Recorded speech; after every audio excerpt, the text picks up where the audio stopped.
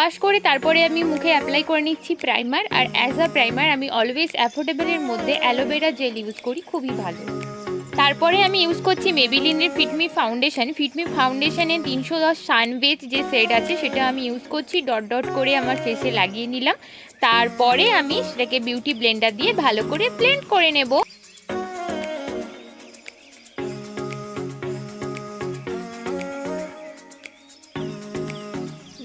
Use করছি Lakme rose gold loose powder আমি ভালো করে সেট করে নেব আমার ফাউন্ডেশনটা এই লুজ পাউডার দিয়ে। আমি কনসিলার ইউজ করছি আমার চোখে চোখের তলায় যে ডার্ক সার্কেলগুলো আছে সেগুলোকে কভার করার জন্যে আর আমার আইব্রোজটাকে সেট করে নেওয়ার জন্য। দেন বিউটি ব্লেন্ডার দিয়ে ভালো করে ব্লেন্ড করে আমি সেট করে বসিয়ে দিচ্ছি। তারপর আমি বিউটি ব্লেন্ডারে করেই একটু কম্প্যাক্ট পাউডার নিয়ে নিচ্ছি, যাতে ব্যাপারটা হেজি না হয়। তো তার জন্য আমি হালকা করে এটাকে সেট করে নিই। দেন আমি চোখের তলায় একটু লুজ পাউডার দিয়ে দিচ্ছি, কারণ আমার আইশ্যাডোটা যে ফল হবে, সেটা যাতে ইজিলি রিমুভ হয়ে যায়।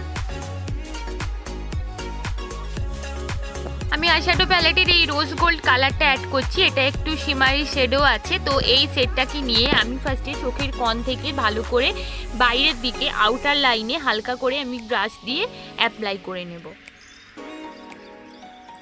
দেন আমি ইউজ করছি গোল্ডেন কালার এটাও আমার সিমারি শেডের ওপরেই আছে। এবার এই গোল্ডেন কালারটাকে আমি কি করব? আমার চোখের আউটার লাইন থেকে ইনার লাইনের দিকে আমি এর ওপরে হালকা করে অ্যাপ্লাই করে নিচ্ছি। দেন এই দুটো কালারকে আমি একসাথে ইজিলি ব্লেন্ড করে নেব। রোজ গোল্ড কালার যেটা আমি ওপরে অ্যাপ্লাই করেছিলাম, সেটা আমি আমার চোখের তলাতেও একটু অ্যাপ্লাই করে নিচ্ছি।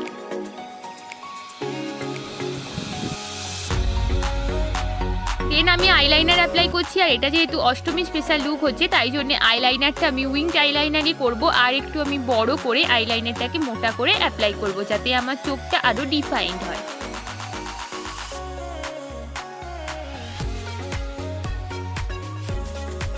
আইলাইনার অ্যাপ্লাই করা হয়ে গেছে, এবার আমি আমার আইলাস কালার ইউজ করছি চোখের পাতাতে, আইটাকে আর একটু বড় দেখানোর জন্যে, কারণ আমি ফলস আইলাস ইউজ করব না, আর এরপরে এবার আমি মাস্কারা অ্যাপ্লাই করে নেব।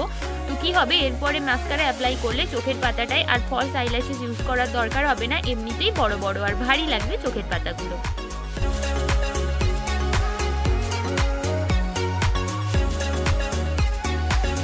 এবারে আমি ব্ল্যাক কালারের আইশ্যাডোটাকে অ্যাজ আ কাজল হিসেবে আমার চোখের তলায় অ্যাপ্লাই করে নেব ব্রাশ দিয়ে। দেন আমি সেট করে নেব, আমার আইব্রোজ একটু আমি কম করে নিচ্ছি, আর তারপরে আমি কি করব, যেখানে আমার গ্যাপ আছে আইব্রোজের সেইগুলো জায়গায় আমি একটু কাজল দিয়ে গ্যাপগুলোকে ফিল আপ করে নেব।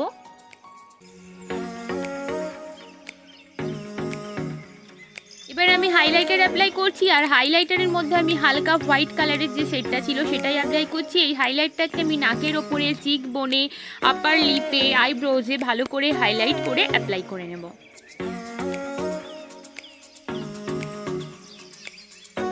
দেন আমি ইউজ করছি ব্লাশ আর ব্লাশারের মধ্যে আমি মেবিলিন ব্লাশার ইউজ করছি, আর এটা আমি হালকা পিঙ্ক কালারেরই ব্লাশ ইউজ করছি, খুব একটা ডার্ক কালার না। দেন আমি ইউজ করছি ল্যাকমিন ব্রোনজার আর ল্যাকমিন ব্রোনজারকে আমি ইউজ করছি অ্যাজ আ কন্ট্রোল হিসেবে, কারণ এর কালারটাও খুব ডার্ক এটা কন্ট্রোলিং হিসেবেও কাজ করে। তো এবার দেখো আমি নাকের সাইডে গালের দুপাশে, আর কপালটা যদি কারও বড় হয় সেটা ছোট করার জন্যে মাথার একটু ওপরে ফর হেডে আর গালটা যদি কারও খুব বেশি মোটা হয়, তো গলার তলাটায় আমি একটু কন্ট্রোলিং অ্যাপ্লাই করে নিতে পারি। ব্রাশ দিয়ে কন্ট্রোল করার পর এবার আমি বিউটি ব্লেন্ডার দিয়ে হালকা করে চেপে চেপে আমি কন্ট্রোলটাকে সেট করে নিচ্ছি। কারণ আমার মনে হয় ব্রাশের থেকেও বিউটি ব্লেন্ডারে জিনিসটা শেড বেশি ইজিলি হয়। এবার আমি অ্যাপ্লাই করে নিচ্ছি মেকআপ ফিক্সার কারণ অষ্টমীর দিন প্যান্ডেলে ঘুরতে হবে, পুজো দিতে হবে, সেই জন্য মেকআপ সেট হওয়াও দরকার। তো মেকআপ ফিক্সার অ্যাপ্লাই করার পরে তারপর আমি লাস্টে কি করব? বিউটি ব্লেন্ডার দিয়ে হালকা করে বসিয়ে বসিয়ে গোটা মেকআপটাকেই আমি সেট করে নেব। যাতে এক্সট্রা যে অ্যামাউন্টের মেকআপটা আমাদের ফেসে অ্যাপ্লাই হয়েছিল সেটা আর বোঝা না যায়। দেন, আমি লিপস্টিক অ্যাপ্লাই করে নিচ্ছি। আর অষ্টমীর স্পেশাল দুর্গাপুজো ট্র্যাডিশনাল মেকআপের জন্য লাল লিপস্টিকের থেকে কি বড় আর লিপস্টিক হতে পারে? তো আমি লিকুইড লিপস্টিকই অ্যাপ্লাই করে নিচ্ছি। তারপরে মাথায় একটা ছোট্ট লাল বিন্দি ব্যাস লুকটাকে একদম পারফেক্ট করে দেবে।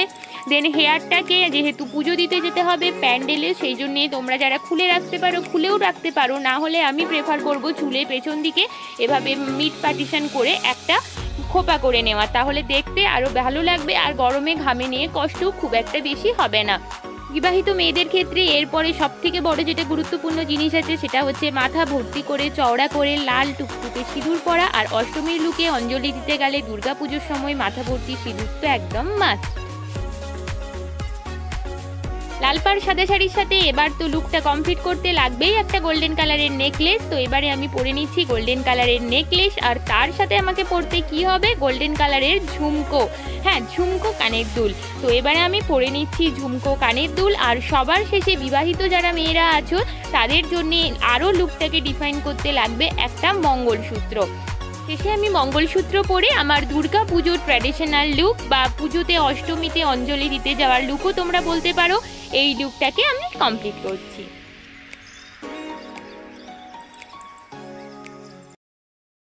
এভাবে আমি ক্রিয়েট করে ফেললাম আমার অষ্টমী স্পেশাল লুক বা ট্র্যাডিশনাল দুর্গাপুজোর লুক তো কেমন লাগল আজকের ভিডিও অবশ্যই আমাকে কমেন্টে জানিও। আর প্লিজ যদি ভালো লাগে তাহলে আমার চ্যানেলকে সাবস্ক্রাইব করে দাও।